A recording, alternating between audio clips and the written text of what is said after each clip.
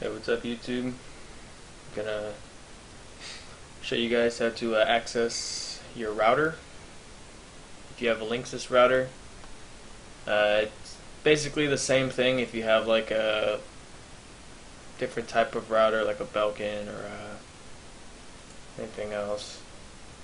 Uh, but the basic way to access your uh, Linksys router is to open up a web page and in the address bar in order to figure out what you need to type in the address bar, you got to go to Start, open up a command prompt.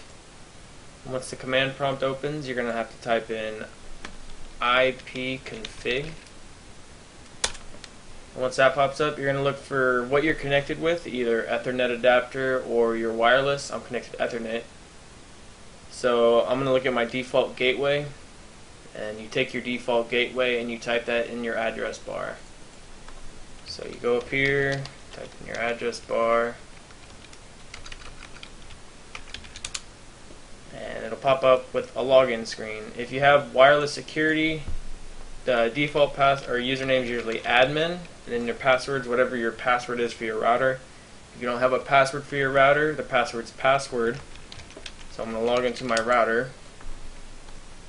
And there you go. You get your basic access to all your router, such as setup, wireless, security, access restrictions, application and gaming, administration, and status. Thank you for watching and subscribe.